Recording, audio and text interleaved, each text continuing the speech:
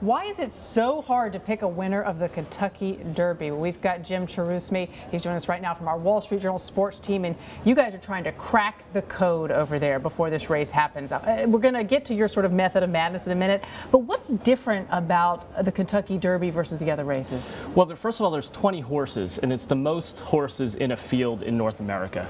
Basically, most of these horses are used to running against 10 or less horses in a race. There's 20 here.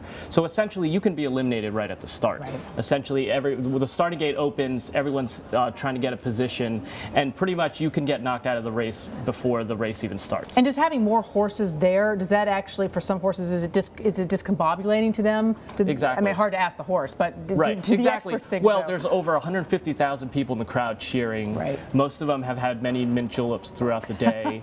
so, and you know, and then the, it's a loud crowd. These horses, they're young horses. They're about to run a race. They've never even run this distance. The Derby Derby is a mile and a quarter. They've never run that far in their lives. And the, but the Derby is not even the longest of the race because after the Kentucky Derby uh, in the Triple Crown races, they've got to then go on to run Belmont, which is longer by right. how much? It's a mile and a half.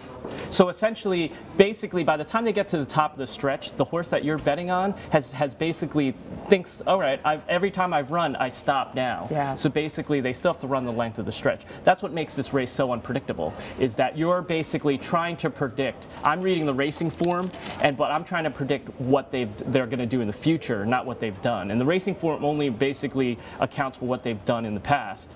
We have to predict what they want to do in the future to make money. Does anybody look at weather? I mean, I'm sure everybody looks at everything, but is weather considered like one of the major factors? And, and I think it's going to be rainy this weekend, isn't it? Right. It's supposed to rain in Louisville on Saturday, and there is a factor where you can see, you know, whether the horse likes the mud.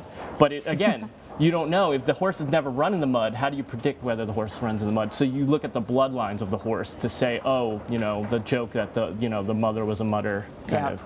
So. So now that you've laid out just how difficult it is, you guys are going to be brave and you are digging in. You're going to try and pick a winner. Uh, WSJ is going to do that. How, what, are, what are you doing? How, what are you using to predict your winner? Well, we're looking at numbers in the past to try to predict the future, which isn't necessarily an exact science. But for instance, only four of the last 33 favorites have won the race.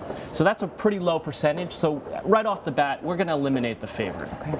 Uh, the average winner is usually around 15 to 1, so we're going to look for a price there. Whereas, you know, the favorite will go off around 7 to 2, 4 to 1 in that range. We're going to look for a price 15 to 1. So we're targeting about six horses in that range that are going to be between 12 and 18 to 1. And then you're going to scrap it out between each other, just figure out whose horse. Who are you? Who right. are you? Who are you right. leaning toward? So basically, I like this horse named Orb. That basically is is the price is going to be low. It's he, he's going to be either the favorite or the second favorite by the time they go to post. But as I said, I don't want to pick that horse. So I'm going to a horse named It's My Lucky Day, who finished second to Orb in the Florida Derby. So basically, he, he had the lead and then Orb passed him in, uh, near the finish line. So I'm going to say in the Kentucky Derby, he's going to hold on this time, and I'll get a better price, 15 to 1 versus 4 to 1. And uh, that's my 1 2. It's My Lucky Day, Orb, Exacta. Any of your colleagues pushing back on that?